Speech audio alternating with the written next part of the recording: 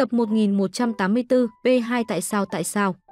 Hôm nay là chủ nhật nên hai bố con xin đi dạo, xin thấy thật thoải mái vì chẳng phải suy nghĩ đến công việc, bố thấy xin y hệt như ông cụ non. Bố hỏi xin muốn ăn gì cho bữa trưa, xin không cần suy nghĩ mà trả lời luôn là chocobi, nhưng nó chỉ là một món ăn nhẹ thôi, bố đang muốn ăn chưa cơ. Đột nhiên xin thấy bên kia bày bán gì đó nên chạy đến xem, thì ra là kẹo cao su với nhiều vị trái cây. Bố bảo xin đây cũng là đồ ăn vặt thôi, xin chẳng quan tâm mà thắc mắc sao cái này lại gọi là bưởi. Bố liền giải thích bưởi là nhiều quả trụng lại với nhau, rất giống một chùm nho, xin thấy bố nói khá thuyết phục. Bố tự hào lắm vì mình am hiểu nhiều hơn xin. Xin lại hỏi bố tại sao hộp thư lại có màu đỏ mà không phải là màu khác. Bố không biết nên giả vờ xin có đĩa bay để đánh lạc hướng cu cậu rồi lấy điện thoại ra tra. Xin bảo bố chẳng thấy đĩa bay ở đâu cả. Bố lại chỉ cho cu cậu hai đôi trẻ đang đi dạo. Rồi bố giải thích cho xin hộp thư có màu đỏ là để nổi bật. Sau đó hai bố con ngắm tàu chạy qua, xin chẳng hiểu sao lại có nhiều đá trên đường dây như vậy. Cu cậu cứ lắc mông đòi bố trả lời. Bố thấy thật mệt mỏi khi hôm nay có rất nhiều câu hỏi tại sao, nhưng xin muốn biết ngay bây giờ, bố có vẻ chẳng biết.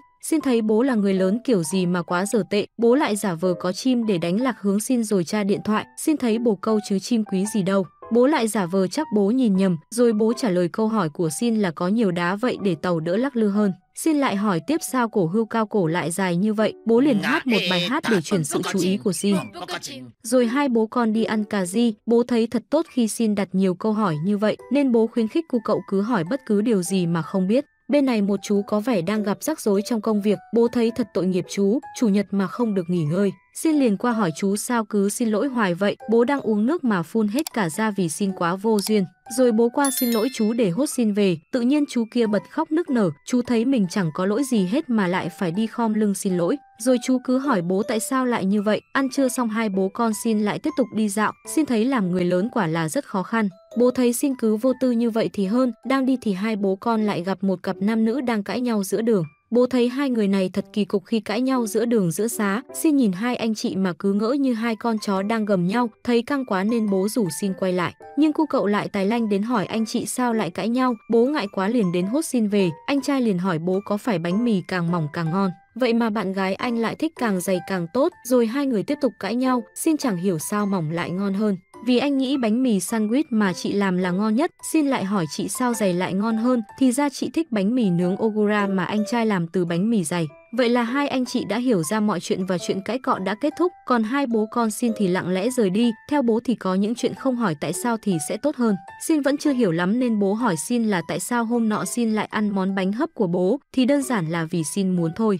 Bố lại tiếp tục là sao xin lại không chịu dọn đồ chơi, là vì xin không thích, bố cũng bó tay với xin luôn. Xin thấy tại bố hỏi nên xin có nhiệm vụ phải trả lời rõ ràng, bố cũng chẳng biết nói sao với xin nữa. Đột nhiên chị Nanako xuất hiện làm xin mừng như được mùa, chị hỏi xin có muốn đi chơi không? Xin nói rằng tại sao lại không, bố cũng bó tay luôn, thì ra chị Nanako mới đi mua sắm về, đó là một chiếc mũ rất đẹp. Xin nghĩ chắc là hợp với chị lắm đây, chị Nanako đội vào làm xin lác hết cả mắt, y như thần tiên tỷ tỷ vậy đó. Phân khích quá nên cu cậu chạy vòng vòng luôn, xin hỏi chị Nanako tại sao lại có thể xinh đẹp như vậy. Chị ngại quá chẳng biết trả lời sao cả, nhưng xin lại muốn một câu trả lời rõ ràng, bố cũng bất lực với con trai mình luôn. Rồi bố bế xin về, trên đường xin cứ nắm tay chị Nanako rồi hỏi sao chị lại xinh đẹp đến vậy và một vạn câu hỏi vì sao để thả thính chị làm bố cảm lạnh luôn.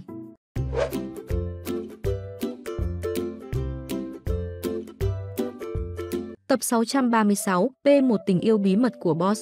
Xe buýt của trường vừa đưa các bạn nhỏ đến trường. Nene và Kazama cảm ơn thầy hiệu trưởng rồi vào lớp. Xin cũng không quên cảm ơn thầy, nhưng cô cậu thấy hình như thầy hiệu trưởng đang tức giận gì đó, nhưng thầy bảo có chuyện gì đâu. Cô Yoshinaga thấy bình thường mặt thầy vẫn vậy mà, với lại xin nên đi lẹ để các bạn khác còn đi nữa. Mà sao cũng dục xin xuống nhanh để cậu còn xuống nữa. Vừa vào trong, thầy hiệu trưởng lại gặp cô Ageo đang đi đổ rác. Cô cũng giật mình vì nghĩ thầy hiệu trưởng đang bực mình chuyện gì đó. Nhưng thầy có đang tức gì đâu, ngại quá cô Ageo bỏ đi luôn. Cô thấy việc phân biệt các nét mặt của thầy hiệu trưởng thật khó khăn, còn thầy hiệu trưởng thì đã quen với việc bị hiểu lầm như vậy từ nhỏ rồi. Đột nhiên thầy nghe tiếng mèo kêu ở đâu đó. Ngó nghiêng một hồi thì thầy phát hiện nó trong bụi cây, nó cứ rũi rũi vào tay thầy. Nghĩ chắc nó bị lạc nên thầy hiệu trưởng bế nó lên, định đưa về nhà nhưng nghĩ đến cảnh vợ thầy sẽ bực mình vì thầy toàn đưa thú hoang về nhà nên thầy hơi rén. Thấy nó có vẻ đói bụng nên thầy mang về nhà, định mở tủ lạnh kiếm gì cho nó ăn thì vợ thầy bước vào làm thầy giật mình. Thầy bảo chỉ định uống chút sữa thôi, rồi thầy lén lấy chiếc đĩa mang ra ngoài đổ sữa cho mèo con uống, uống no nê nó rũi rũi vào người thầy để cảm ơn. Thầy hiệu trưởng rất cảm động vì thầy có khuôn mặt thật đáng sợ nhưng chú mèo này vẫn yêu quý thầy. Thầy thấy nó dễ thương vô cùng, chợt có tiếng gọi của vợ nên thầy sợ quá mở cửa xe cho mèo con trốn lên nó. Rồi giả vờ lau kính xe làm cô phó hiệu trưởng chẳng hiểu thầy đang làm trò gì, thì ra cô Yoshinaga đã gọi cho vợ thầy để nhắc thầy đến cuộc họp định kỳ. Vậy mà thầy hiệu trưởng chẳng nhớ dụ này, thấy vợ rời đi mà thầy thấy nhẹ cả người, may mà không bị phát hiện. Sau đó thầy khởi động xe bật điều hòa cho chú mèo rồi đến cuộc họp. Thầy rất xin lỗi đã để các cô giáo chờ đợi. Thầy buột miệng nói tại chú mèo con nhưng chợt nhớ ra phải giữ bí mật nên thầy hiệu trưởng giả vờ bảo tại lo tìm quyển sách nên mới đến muộn và cuộc họp bắt đầu. Cô Matsuzaka bảo hôm nay sẽ họp về vấn đề môi trường, thầy hiệu trưởng nghe sao mà ra con mèo nên giật cả mình. Ý của cô Matsuzaka là nên có những hoạt động thiết thực để dạy trẻ bảo vệ môi trường. Thầy hiệu trưởng giờ mới hiểu ra, rồi ngồi cười một mình như giờ người. Lúc này Shin và Kamaza thò đầu vào cửa sổ bảo thầy hiệu trưởng là động cơ xe buýt vẫn đang hoạt động. Cô Yoshinaga hết hồn nên ngó ra xem thế nào, mà sao thấy cứ để thế này thì thật lãng phí xăng, lại còn không tốt cho môi trường nữa. Thầy hiệu trưởng ngại quá liền chạy ra xe bảo sẽ tắt máy, nhưng nhìn chú mèo con tội nghiệp thầy chẳng biết nên làm gì bây giờ. Lúc này đám trẻ đến quan sát thầy hiệu trưởng vì muốn xem thầy có tắt máy đúng cách hay không.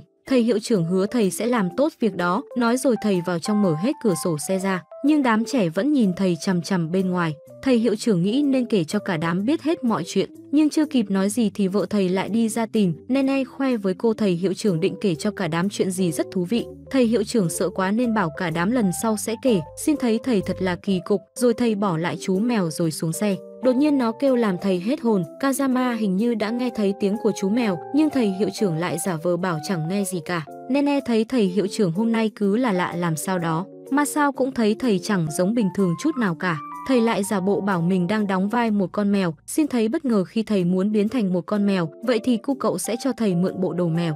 Thầy hiệu trưởng mặc vào làm cả đám và vợ thầy thấy hơi rén. Xin thì thấy thật tuyệt vời, nhưng Bo nhìn mặt thầy cứ sơ sợ làm sao ý, thầy lại còn làm hai tai nhúc nhích nữa. Đột nhiên thấy chú mèo đang trèo ra ngoài cửa sổ, nó sắp bị rơi xuống nên thầy hiệu trưởng hốt hoảng lao đến đỡ. May mà kịp không thì toang, thầy hiệu trưởng rất mừng vì chú mèo đã an toàn. Chợt thầy hết hồn khi nhớ ra mọi người đang nhìn mình, vợ thầy không hiểu sao lại có mèo ở đây. Đột nhiên xin hốt hoảng lao vào nhà vệ sinh tắt điện vì ai đó đã quên tắt. Bo thấy hành động này rất tuyệt vì đã bảo vệ môi trường, ngoài này vợ thầy hiệu trưởng vẫn đang bực mình vì sự xuất hiện của chú mèo. Cùng lúc này một cô bé đi tới, mèo con thấy cô bé liền chạy ra nhảy vào lòng cô, thì ra đây là chủ của chú mèo. Thầy hiệu trưởng lại kể với cô bé rằng chú mèo này đã bị lạc. Định cảm ơn nhưng thấy mặt thầy đáng sợ quá nên cô bé chạy luôn. Thầy hiệu trưởng không nghĩ mặt thầy lại đáng sợ như vậy. Nhưng thầy vẫn mong là mèo con sẽ không bị lạc nữa, rồi thầy tiếp tục vào tham gia cuộc họp. Đám trẻ không nghĩ thầy hiệu trưởng lại che giấu con mèo đó. Thật may là nó đã quay về với chủ của nó, không thì ở với thầy hiệu trưởng nhìn mặt đã sợ rồi, chứ sống sao nổi.